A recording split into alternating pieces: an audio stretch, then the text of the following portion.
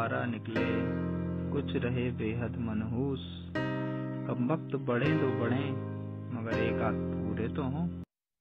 आप सब लोगों का स्वागत है एक नए मिनी व्लॉग में मेरे छोटे से चैनल पे। आगे बढ़ने से पहले लाइक एंड सब्सक्राइब ज़रूर करिए। आज हम चल रहे हैं ऋषिकेश टू ओखीमठ अपनी बहन के साथ और मम्मी पापा जी के साथ। साथ में हमारी भांजी भी है, मिलवाएँगे आपसे सभी को। चलिए, शुरू करते हैं। तो अब हम रुक चुके हैं बिष्ट भोजनालय पे, जो स्थित है बिल्कुल हाईवे के किनारे पे। यहाँ पे चाय नाश्ता करते हैं और फिर आगे बढ़ते हैं।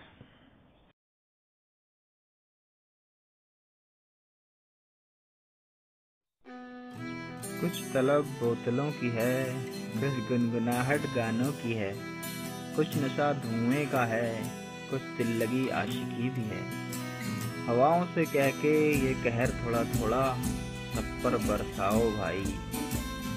आखिर यूँ पागल तो हम अकेले ना होंगे। बढ़िया सी शायरी सुनते सुनते हमारा ध्यान अचानक से गया। अरे, ये तो भाँग का पौधा है। चलिए, भाँग के पौधे को रहने देते हैं अपनी जगह पे। हम चलते हैं और आगे बढ़ते हैं, आपको दिखाते हैं कहाँ कहाँ पहुँचने वाले हैं। ओह, ये देवप्रयाग का बाज़ार है हमारा। देवप्रयाग पंच पाँच प्रयागों में से, उत्तराखंड के फ़ेमस प्रयागों में से एक। यहाँ से आप देख सकते हैं ऊपर कोहरा लग फॉग फॉग भी नहीं है ये, आराम से सुंदर सा हॉल लगा हुआ है। हॉल कहते हैं इसे पहाड़ों पे। और ऐसे हम पाँच घंटे से चल रहे हैं। अब बागवान आ चुका है मेरे ख्याल से। हाँ जी, बागवान में आ गए हैं। अब बागवान से भी आगे बढ़ते बढ़ते बढ़ते देख रहे होंगे आप किनारे पे बहुत सारे होटल हैं। क्योंकि ये यात्रा का वक्त भी है और यात्रा के टाइम पे यहाँ काफ़ी भीड़ रहती है श्रद्धालुओं की।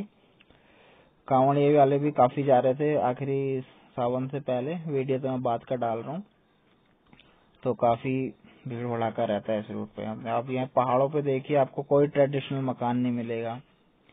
तब हिमाचल से सीख लेने की ज़रूरत है उत्तराखंड को। होपफुली सरकार कुछ उठाएगी कदम। खैर।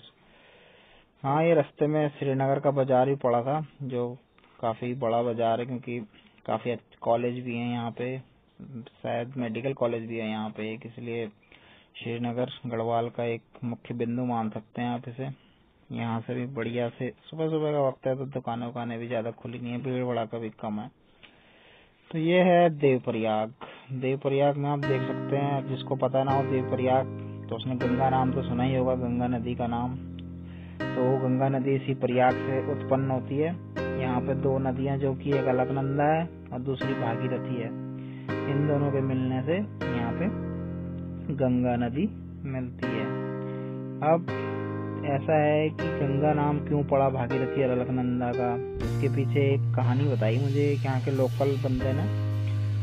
नॉर्मली तो ऐसा होता है कि अगर दो नदियाँ मिलती हैं तो जिस नदी की गहराई ज़्यादा होती है, उसी नदी का नाम पड़ जाता है। प्रयाग जय हो मंदिर है वहाँ पे बड़ा सुंदर, बड़ा भव्य, पुराना। तब तक हम जो हमारा नाश्ता करने का अड्डा था, वहाँ पे का व्यू दिखाते हैं आपको। देखिए, क्या बढ़िया से नीचे से अलकनंदा बह रही है। ये अलकनंदा हम और आगे आ चुके हैं प्रयाग से। यहाँ पे हम खाने के लिए रुके हैं और हमारे जिया जी हमको यहाँ पे से पिकअप करने आ रहे हैं। जिया जी हमारे अभी तक साथ में नहीं थे ड्यूटी से आ रहे हैं वो अपनी। संडे है इसलिए। तो अब हम हाँ मैं आपको बता रहा था कि मैंने ये सुना कि जो नदी गहरी होती है होता ही है मतलब उसका नाम दिया जाता है। पर यहाँ पे आके प्रयाग में देव प्रयाग में अलकनंदा और और भागीरथी मिलती है तो यहाँ पे सेम डेप्थ हो जाती है दोनों की, इसलिए इसका नाम एक तीसरा नाम बन रखा जाता है, जिसको गंगा नदी, धार्मिक दृष्टि से महत्वपूर्ण हमारे जिया जी और हमारी भांजी हमारी बहनों से संभाल रही है। पापा जी के साथ पापा जी बैठे हैं आगे और हम और आगे चल रहे हैं। बाजारों से यहाँ के, और बस पहुँचने वाले हैं अब, नदी के आसपास, सुंदर नदी बह रही है।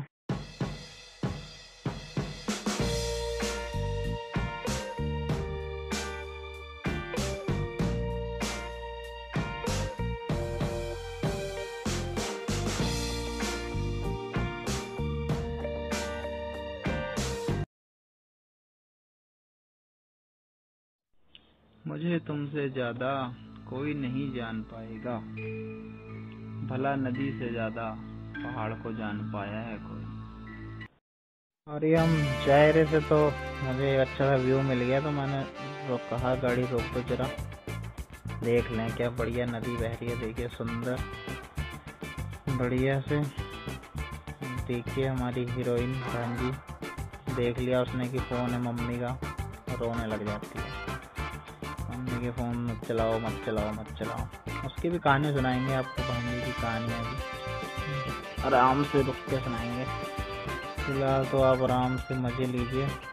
आज हम काफ़ी ठीक ठाक रास्ते से पहुँच गए हैं टाइम से देखिए, जैसे ही मैं ऐसा सोच ही रहा था, तब तक एक जाम में तो फंसना बनता ही था पतली पतली सड़कों पर पहाड़ की। देखते हैं, कितनी देर लगती है यहाँ पे फ़िलहाल। उमस भी काफ़ी हो रही है, धूप की वजह से। नीचे शायद अलकनंदा ही बह रही है। जो भी बह रही है शायद अलकनंदा ही है। अलकनंदा आ रही है बह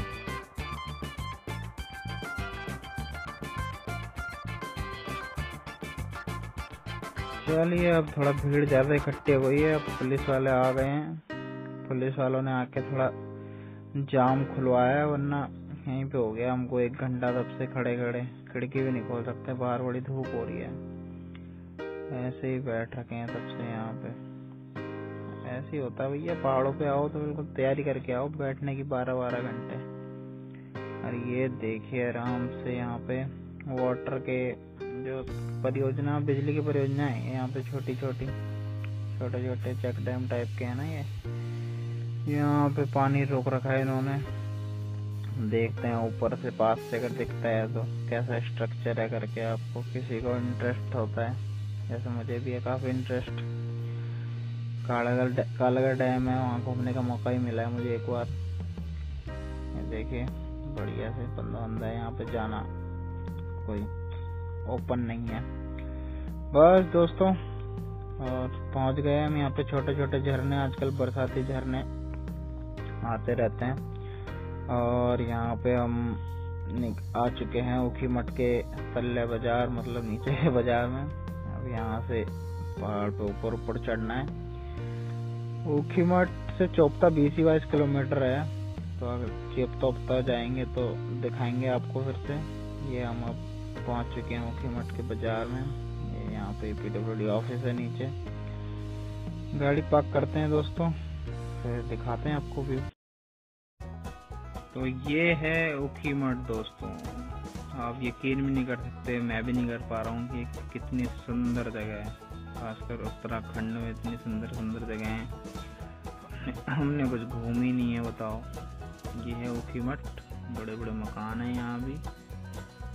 सामने, यहाँ से सामने जो बड़ा सा दिख रहा है, वो है उखी गुप्त काशी का पहाड़। गुप्त काशी है वो। जो कुछ ना भी कर सको इस दुनिया में तो बस एक काम करते जाना दोस्त। मुस्कुराहटें बिखेरते हुए और ये पहाड़, सुंदर पहाड़ के साथ इस व्लॉग का करते हैं समापन।